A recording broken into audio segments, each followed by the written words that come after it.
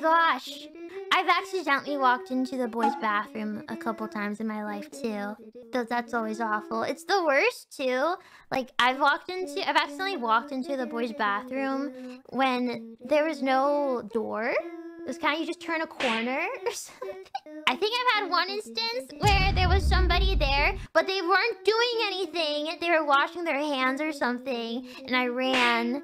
But then uh, I say I think it's happened like two other times maybe. And during those times there was nothing. No one was there. I just was I think it's even worse when you leave and there's people that see you leaving it. you die, you cry, you cry, and you go to the girls' bathroom and cry.